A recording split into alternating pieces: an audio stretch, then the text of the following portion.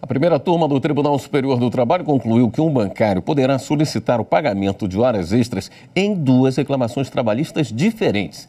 Isso porque os períodos de jornada extraordinária foram distintos. Repórter Michele Chapa tem os detalhes do caso.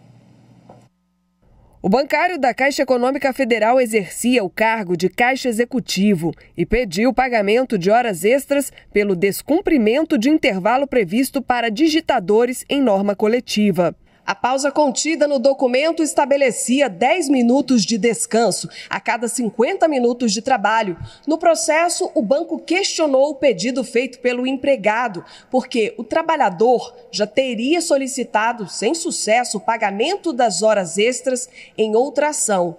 Para a Caixa Econômica Federal, não seria possível que uma nova decisão viesse a conceder o direito ao intervalo sob pena de ofensa direta à coisa julgada.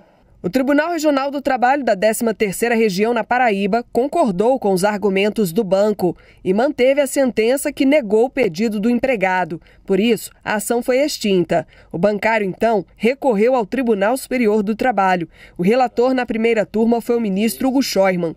Ele explicou que, de acordo com o Código de Processo Civil, uma ação é idêntica à outra quando tem as mesmas partes, a mesma causa e o mesmo pedido. No caso, porém, não havia identidade de pedidos nas duas ações, porque eles se referem a períodos distintos durante a vigência do mesmo contrato. Por isso, para o ministro, não é cabível falar em coisa julgada. Seguindo o voto do relator, a primeira turma aceitou o recurso por unanimidade e determinou retorno dos autos à vara de origem para o prosseguimento da ação. A empresa entrou com embargos que ainda não foram julgados.